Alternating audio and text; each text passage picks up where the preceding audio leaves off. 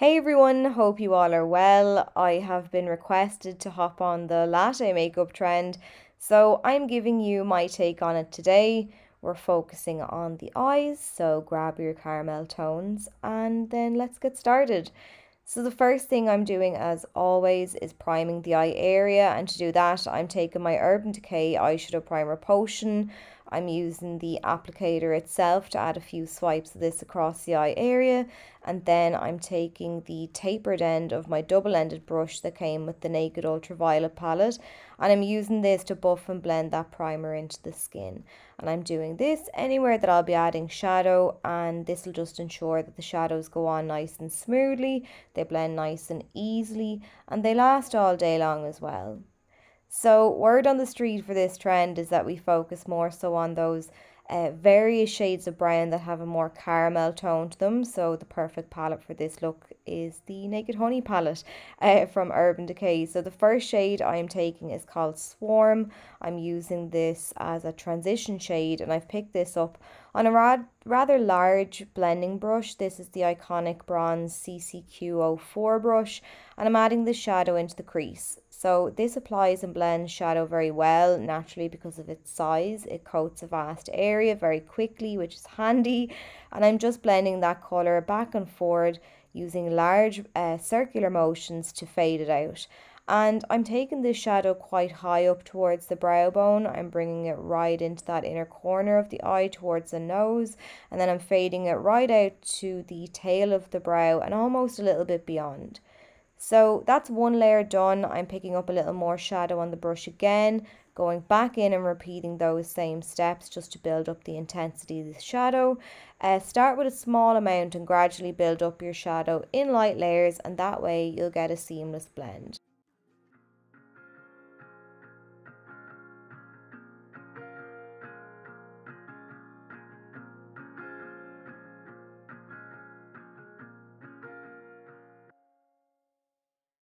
Once I'm happy with how that looks, I'm taking the shade Hive. It's a nice light to medium toned brown with a matte finish to it. And I'm using the iconic bronze CCQ05 brush to add this. The previous larger brush was actually the 04, um, but I've started by tapping this down on the outer third of the eye, pushing it a little towards the centre of the lid. We will be coating the lid entirely soon, but I didn't want to go straight into the crease with this shade. I wanted the bulk of the colour off of the brush.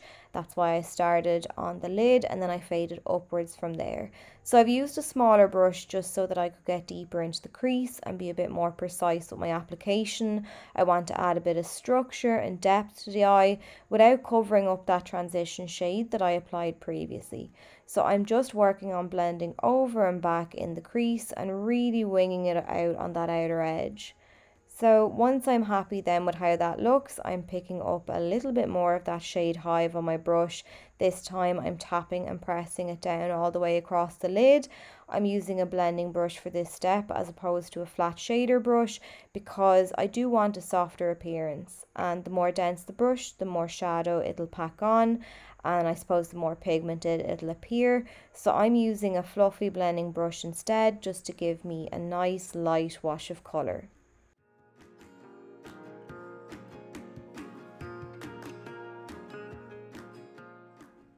I'm working my way through the browns now, so the next shade I'm taking is called Drip. It's a little bit deeper than the shade previously used and then the one before that. And I'm building up the shadows not only in layers but also from light to dark to add a nice bit of structure to the eyes. I'm using that same blending brush and I'm tapping this down on the very outer edge of the eye and then patting the brush up and around in a sort of C shape into the crease and then I'm feathering the shadow upwards and outwards towards the tail of the brow.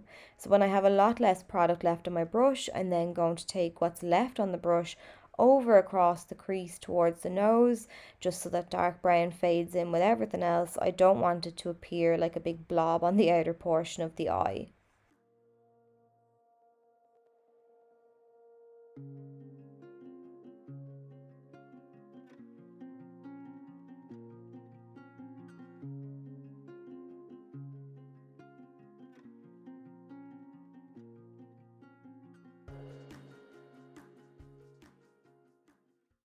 So once again, just keep on applying and blending in nice light layers until you're happy with the intensity and blend of the shadow. And listen, is this look a glorified brown smoky eye? Yes, yes it is. But that's the thing with trends a lot of the time. It's the same sort of concept, different titles, and this is just one that's blowing up this time. But I'm all about it. I love a good sultry, soft brown smoky eye, and it's perfect for this time of year in particular. I'm focusing on the eyes today naturally, as that's what I do, but complexion wise, you want to just keep things nice and dewy and bronzed.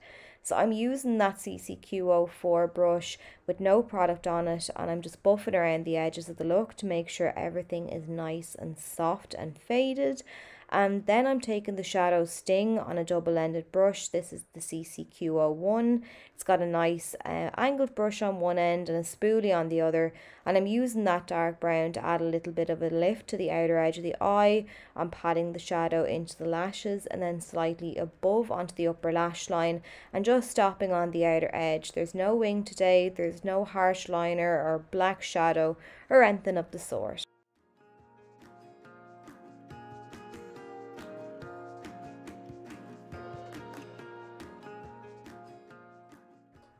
So what I do to the top, I'm going to do to the bottom. So I'm just repeating those same steps as above, down below.